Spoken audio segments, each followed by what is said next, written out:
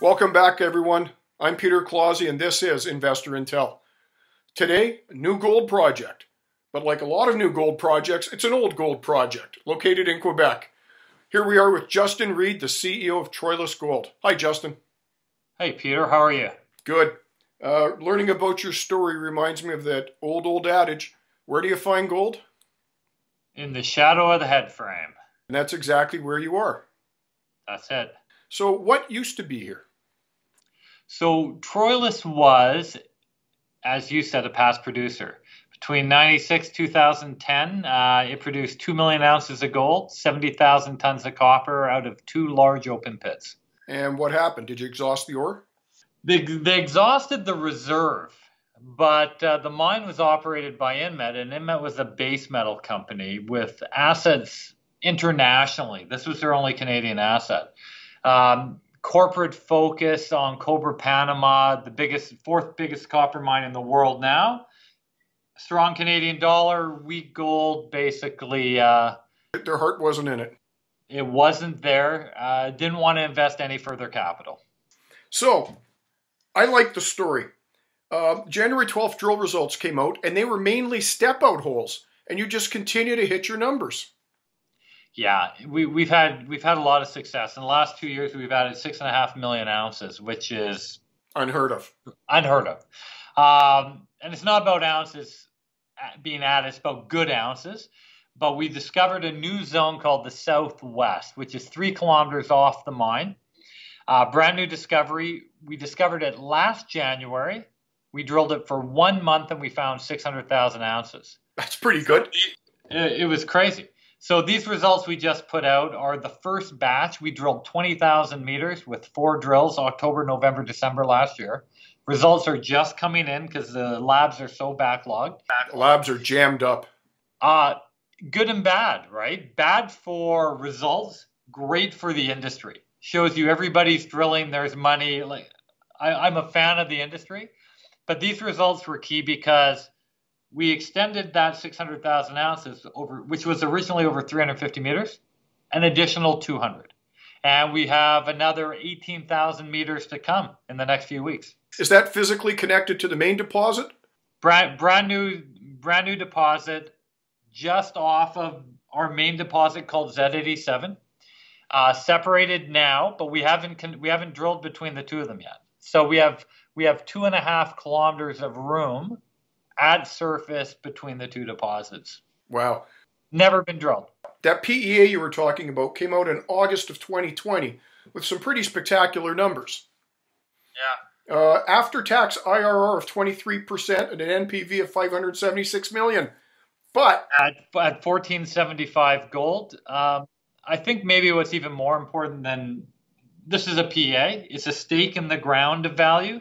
It kind of tells you what it could be um, we're under we're working on the feasibility now, pre-feasibility. But for me, the biggest takeaway was plus 20 year mine life, 250,000 ounces a year, capex below 500 million, capex at 333 million.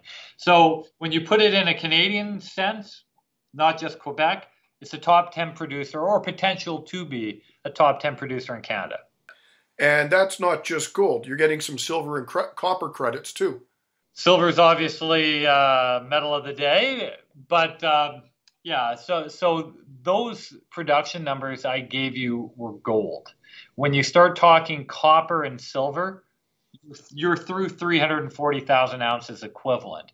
You're going to get uh, you're going to get between 10 and 12,000 tons of copper a year, and you're also going to get a bunch of silver. And a steady flow of news as you continue to drill. How many meters have you drilled all in?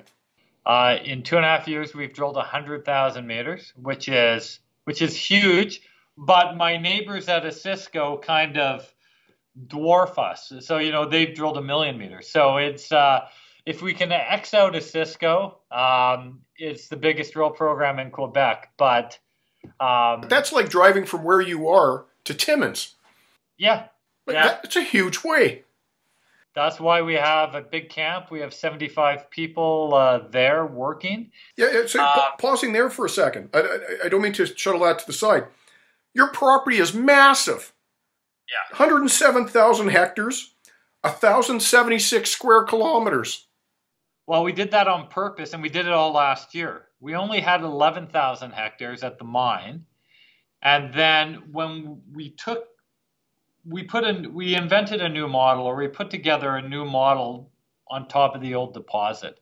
And that as soon as we applied our structural model to the deposit, we found six and a half million more ounces. And we said, we said, you know what, we might be right. So we quietly went out and we staked everything. Staking And in we- Quebec is online, right? Yeah, and we, we can do it online. We also bought a lot of ground from O3. Um, Jose had uh, Jose Benavides. He had he had a large ground position which was historical to him, and they're focusing obviously over in the Val-d'Or camp. And so we made a deal with him and with a bunch of others, the SOQUEM, the government. And we said let's just grab as much as we can, and we did uh, early in the year, and that's what's really led to this massive program we have now. Now, when you and I were talking before, you were mentioning uh, a very, very strong shareholder base. Yeah, I, we we have we have 51 global institutions, um, which is kind of unheard of for companies our size. It has a lot to do with our past, I think, but um, you know the mainstream we have, we have Sprott and Mackenzie and Franklin and Fidelity. Um, but in Quebec, we're we're really proud of our Quebec shareholders, like the Caisse.